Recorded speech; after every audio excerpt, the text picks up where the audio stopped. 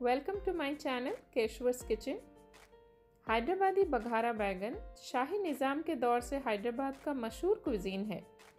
बिरयानी, बघारा खाना या तहारी, इन सभी के साथ ये परफेक्ट साइड डिश है।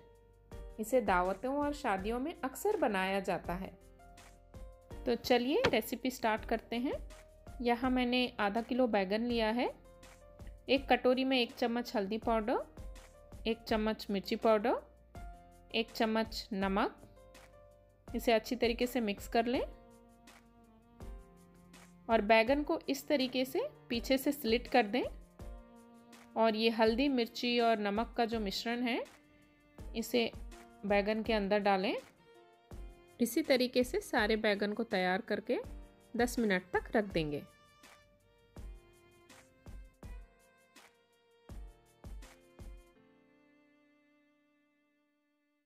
अब एक पैन को गरम कर लेंगे। इसमें एक तिहाई कप मूंगफली ड्राई रोस्ट करेंगे। अब हम इसमें ऐड करेंगे दो बड़े चम्मच तिल, तीन बड़े चम्मच कोकोनट पाउडर, चार इलायची और एक इंच दालचीनी। इसे लाइट ड्राई रोस्ट करके निकाल लेंगे।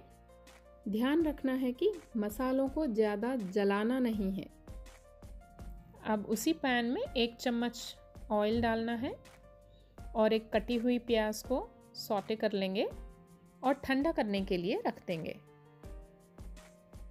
जब सारे मसाले ठंडे हो जाएँ, तो उसमें आधा कप पानी डाल के एक स्मूथ सा पेस्ट बना लेंगे। नेक्स्ट स्टेप में एक कढ़ाई में आधा कप ऑयल गरम करेंगे और बैगन को इसमें फ्राई करेंगे। यहाँ पे ध्यान रखना है, बैगन को पकाना नहीं है, बस 50 परसेंट तक फ्राई करके निकाल लेंगे। अब इसी गरम कढ़ाई में एक चम्मच सरसों, एक चम्मच जीरा तड़कने देंगे, दो साबित लाल मिर्च और मुट्ठी भर कड़ी पत्ता, एक बारीक कटा हुआ प्याज भूरे रंग होने पर एक बड़ा चम्मच अदरक लहसुन का पेस्ट ऐड करेंगे और कच्चापन जाने तक भून लेंगे। अब इसमें एक चम्मच हल्दी पाउडर, एक बड़ा चम्मच कश्मीरी लाल मिर्च पाउडर, एक चम्मच धनिया पाउडर, एक चम्मच जीरा पाउडर। इन सभी मसालों को अच्छी तरीके से भून लेंगे। मसाला ना जले इसलिए हम आधा कप पानी ऐड करेंगे और मसालों को अच्छी तरीके से पका लेंगे। जब मसालों में एक उबाल आ जाए तो बनाया हुआ पेस्ट मिलाएँगे।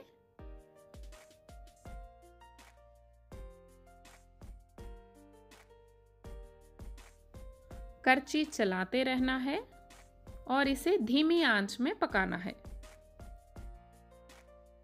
स्वाद अनुसार नमक। पाँच मिनट पकाने पर मसाले इस तरीके से तेल छोड़ने लगेंगे।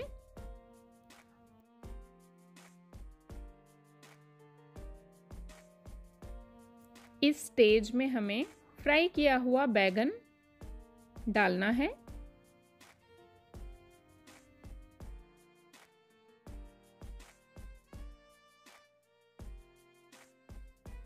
और हल्की हाथों से करची चलाना है ताकि हमारे बैगन टूटे ना। ढक्कन बंद कर कर हमें 10 मिनट पकाना है और बीच बीच में करची चलाना है।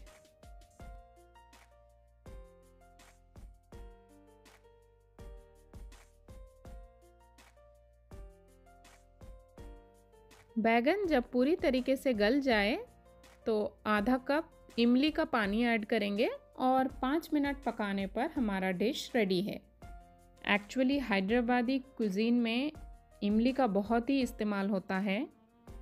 It is a rich source of vitamins minerals and antioxidants और इसका जो टैंगी फ्लेवर है, ये कोई भी डिश को बहुत ही इन्हांस करता है।